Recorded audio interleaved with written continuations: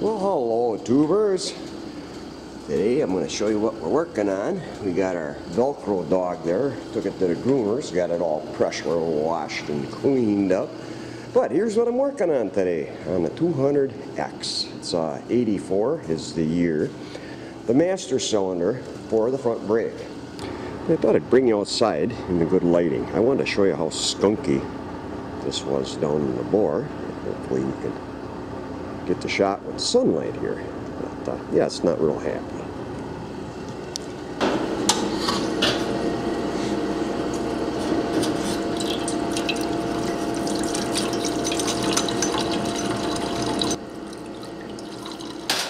Brush don't quite fit in the bore. I'm gonna go give it a swish and a vise. I'll be right back. All right, uh, that don't fit real good. So, gee, this is laying there. That would be too easy, wouldn't it? So, let's make something that fits down in the bore. Well, this will give you an idea how skunky everything was, too. That was the washer that the snap ring goes on to hold in. So, let's make something up here. Mm, Yeah, enough, I guess. And, uh, I got the wheel cylinder holes, but they're. It would be real close if one of them would work, and not only that, on the aluminum versus the steel, they'd probably cut pretty fast, maybe be a little too abrasive. So, okay, we're gonna make an adapter so it fits in the drill here. Wrap a little tape around here.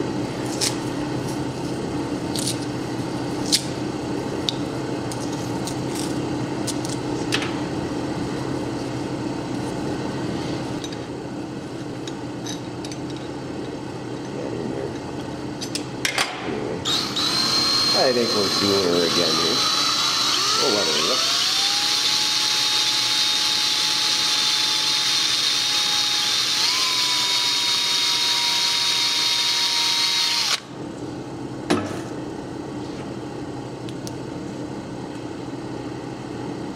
I think that's going to be pretty good. That's why I save these wore out ones for such occasions.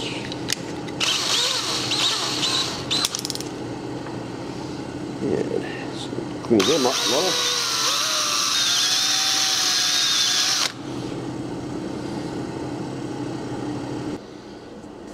Yeah, we'll clean off the surface here, get a little skib skib.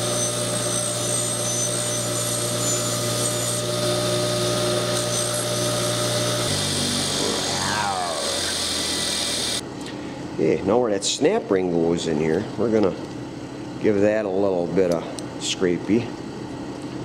So make sure that it drops back in there nicely when we're done. And the snap ring don't go right tight to where that different machined depth is. That washer sits in there, so that's what the reason for that little bit of gappage is. But basically, you want to scrape all the schmigmites out. If you don't have the fancy wire wheel dilly bop, get yourself some 600 grit sandpaper.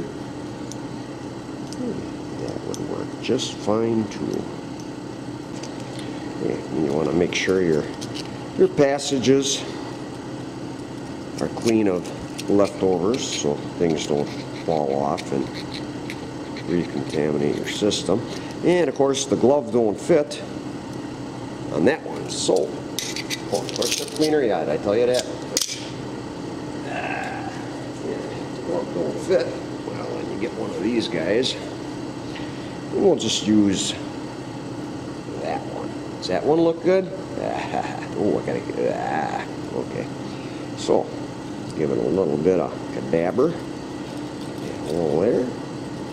And actually cut that right off to use it, but that's just long enough. Scrape her around in there. And then you know that opening there is scraped and clear too. And check them with a flashlight on the final. And then you can see if you're good or not. Ooh, you got There we go. We're back. Something like that. Scrubby. Anyway, next up, let's continue.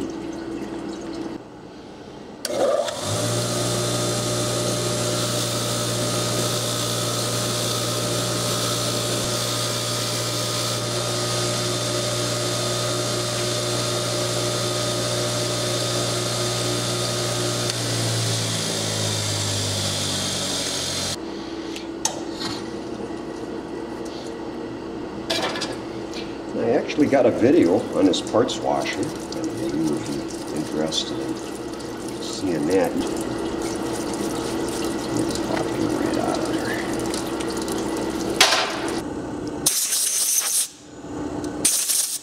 Good.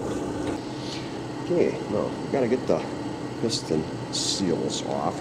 The hollowed part that always faces to the inside of your unit, so when it builds pressure, it actually makes them little cups tighter on the bore. See all this white skunky on here? Ah, there we go. That's like when you got aluminum wheel on your car and you leak air, well you got you got to have two sealing surfaces here, like an L around there, and all this stuff here has to be cleaned off. We're reusing that piston. Less talky, more do. Okay. So let's jump down there, and we'll give it a spin and zip.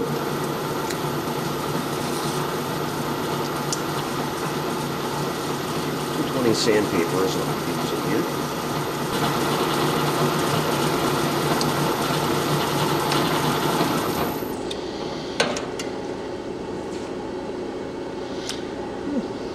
I think we're going to call that a call that a day.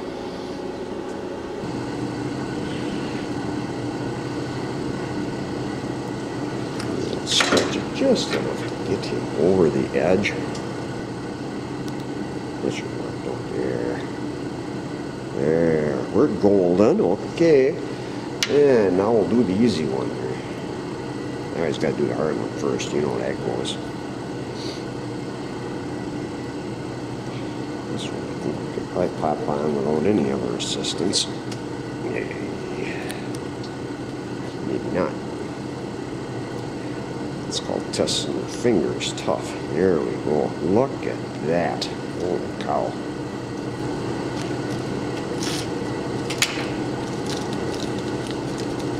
Damn, I got a case of shakes. I should have probably made some before I started on this. Alright, through back.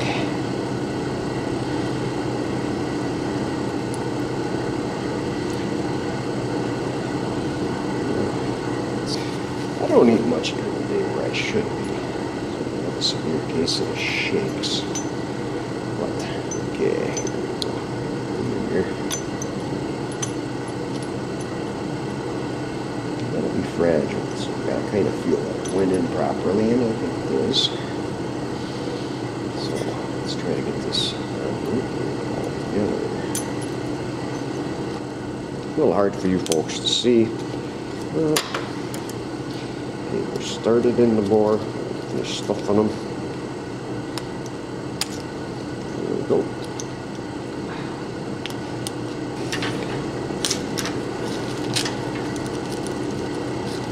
One more.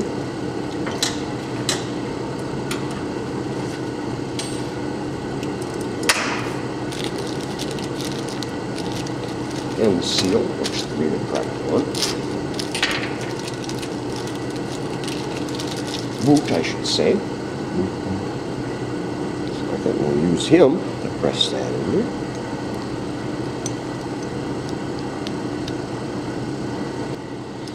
Sorry to bore you to death, but folks sound like enjoy this stuff, so yeah, now you get to see. Continuing on, one thing I didn't show you folks is these rubber cups before I press them onto the piston. I take them more of them my stove and I heat them up a little bit. That way they're more pliable. I should make sure to point that out. Now, we'll put the reservoir on, but what I'm going to do first here is I'm going to put a light coat of this uh, uh, synthetic brake grease. This helps keep the electrolysis down or whatever the heck you want to call it. So water gets underneath here when you wash it or, or in mud. That way that don't start to corrode so fast. So put a light coat of that on there. And do it's pouring. This goes in here for the reservoir.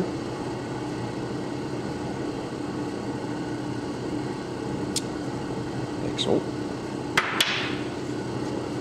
Synthetic grease off my pinkies. Just a light coat of brake fluid on this part right here. Gotta make sure you line up the dot, or better known, line up the dut. You got your little dut right there. It's gotta bolt to this end here. So, like so. Come on to there. There we go.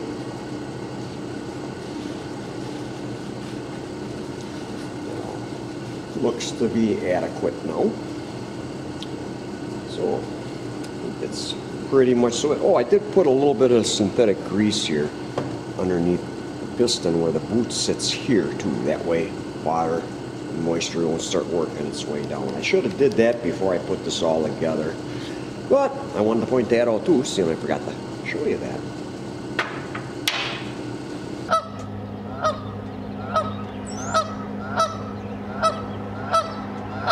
Now for this boot or seal for the cap, whatever you want to call it.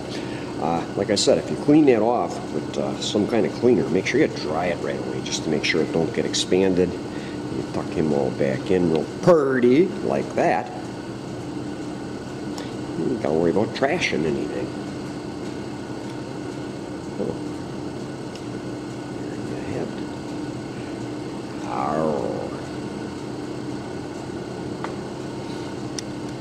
Oh, and here's a tip too. If you're working on wheel cylinders on your car or this kind of stuff, I got to show you this one too. You should always have some of the synthetic brake grease. It's very beneficial. Here's something I've been doing for years, and it's evident how good it works. Now, here's a example that I wanted to show you folks. See all the skunk in there on that guy? Well, before you put the boot on, or on a wheel cylinder, them end rubber, dealy bops.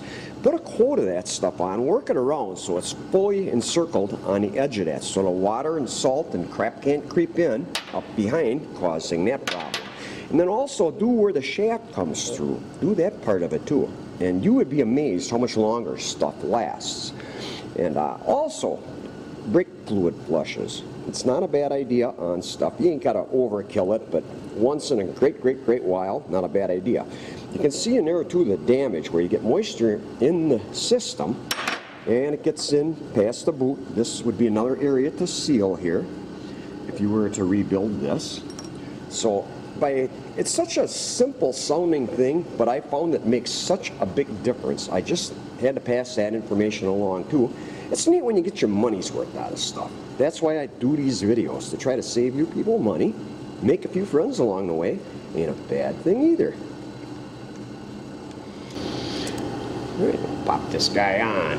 And just remember, you gotta put up. Up. Why?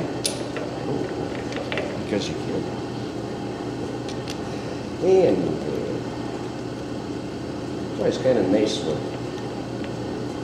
see things going together. But the, the cleanup is always seems to take way longer than any of the work on so much.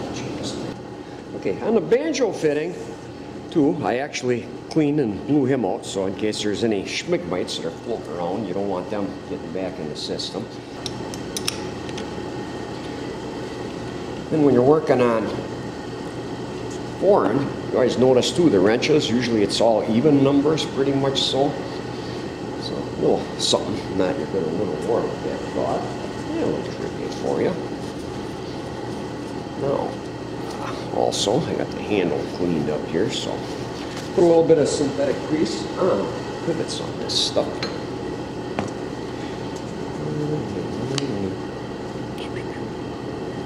Woohoo.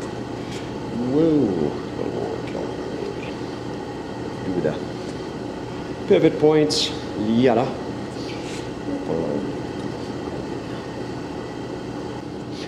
Well, with the cap on, guard on, you can't fill the reservoir. So what we're going to do is set this together for the time being here. Get the system bled out and put the filter on.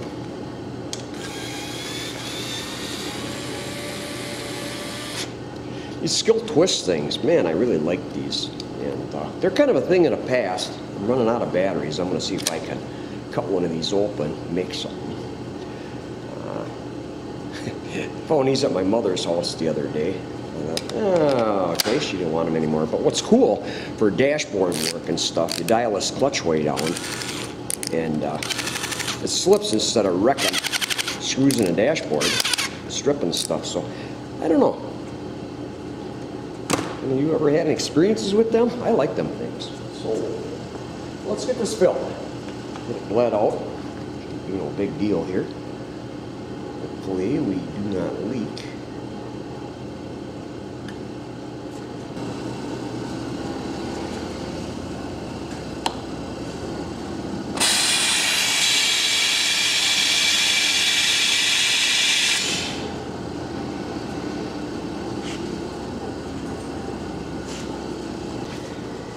Finish up. I step tap caliper a little bit, crack the line gravity bleed, stop, tap tap. If there's any air in there, usually that'll jar it loose. Not it's probably going to be a problem here, but on some applications that does help. There, it should be a wrap. Button her up.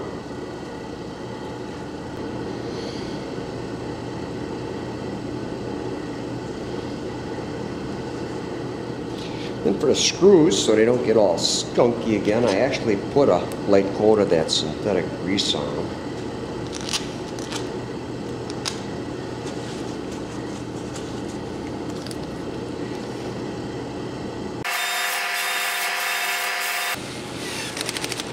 Four screws, I don't think they wanted that cover to come off.